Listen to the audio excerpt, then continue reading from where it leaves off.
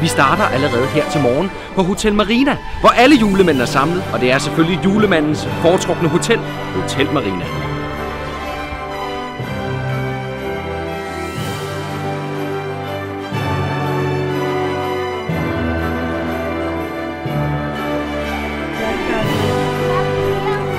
Nu er en stor nissedreng, ikke?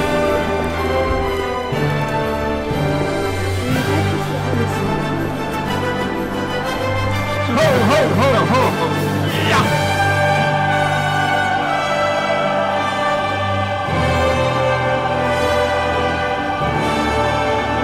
Godmorgen, kære nissemøder, julemænd, nissebørn og publikum. Vi skal nu til at afsløre årets æres julemand. I går sluttede Tour de France, og når jeg siger, at årets æres julemand har deltaget i Tour de France 11 gange, og som eneste dansker har vundet øh, etaper i Tour de France, Vuelta og Giro d'Italia.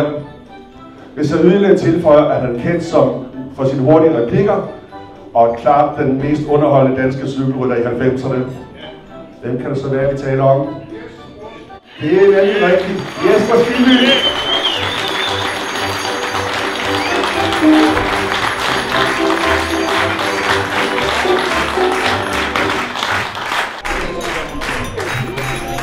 Det kan godt være, at der var andre, der vandt Tour de France, dengang du var med, men du vandt danskernes hjerter. Selvom du, øh, det nu er 12 år siden, at du markerede racercyklen forever, så lyser du stadig op på stjernehimlen inden for cykelsporten. Og du kan stadigvæk flække og grine. Det så vi jo forleden i aftenshowet, hvor du talte om, hvordan publikummer i bogstaveligste forstand tog gas på dig og på en af de hårde bjergetapper. Og så øh, og som du gjorde, da du sidste uge i Se og Hør blev konfronteret med nogle af dine tidligere meritter, for eksempel da du købte en tigerunge. Når banken i samarbejde med Dansk Julemandslag i år har ønsket at udnævne dig til årets æres julemand, så er det ikke mindst på grund af din indsats som ambassadør for foreningen Familie med kræftramte børn. Du opfatter det som din borgerpligt at gøre det. Så er vi ikke i tvivl om, at du kan sætte dig ind i den kamp, som mange kraft, kræftramte børn kæmper, og derfor kan fungere som en god coach for dem.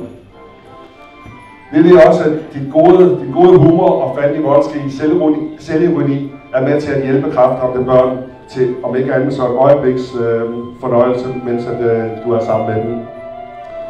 Derfor er vi glade for, at du har taget ja til at modtage titlen som årets æresjulemand, og du nu bliver udstyret med vores juleæreskåbe, som du har ret til at bære når som helst frem til næste julemandskongres. Og her om sommeren, der holder den dig dejligt varm også. Skal vi starte med at give ham kåbe på?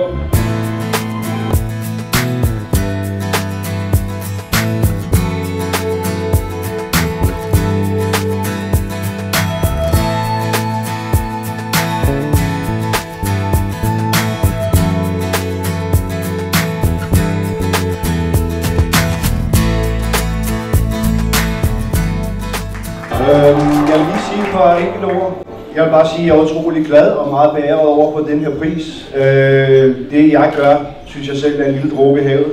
Og som du selv sagde, Pierre, så synes jeg, det er en borgerpligt for os alle sammen at hjælpe kraftramte børn eller kraftramte patienter i den almindelighed.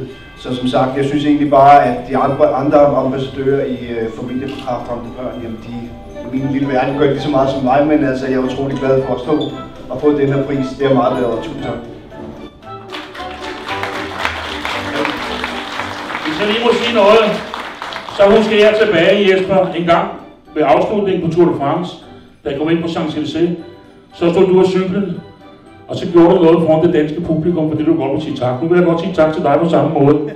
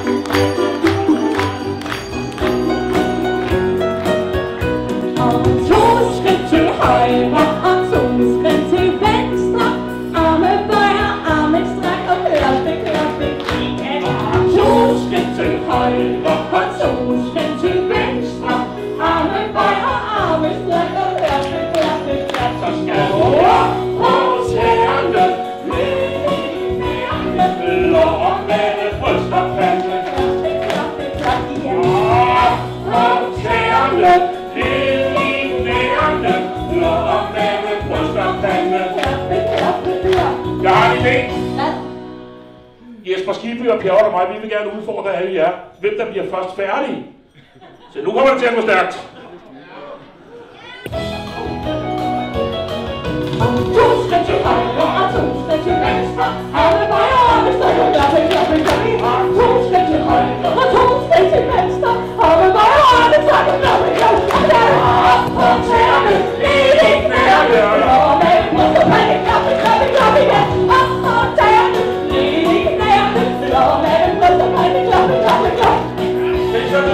Nu, jeg lige blev først færdig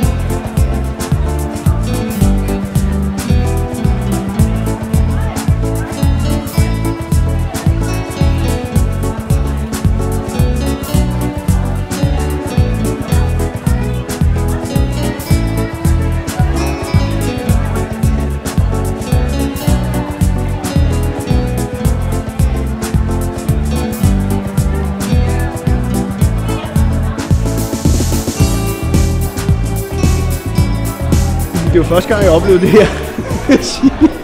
og øh, hvad hedder det? Og man kan sige, nu er vi så i juli måned, og så lige pludselig så, så er der tusind julemænd, ikke? I mit eget forhold til julen, altså, det er jo klart, at øh, det, er også, altså, det, det er seks måneder væk, ikke? men øh, jeg har en lille pige, ikke? Øh, og hun, øh, hun minder mig konstant om julen, så men vi har, jeg glæder mig til julen hvert år. Og øh, hvad hedder det? Øh, men altså, det er ligesom, det vender tilbage nu, ikke? Altså, så står man lige pludselig kommer med en julehumør. Det er mærkeligt. Det er fedt. Super fedt.